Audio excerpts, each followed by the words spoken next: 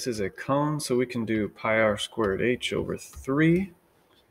So then I plug in, I'm going to do r squared first and then times the height. So 36 times 7.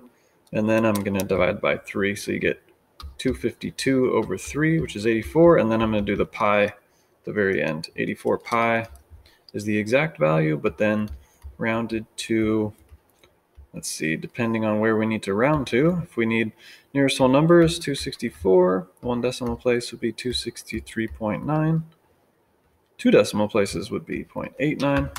So depending on what we're asked for.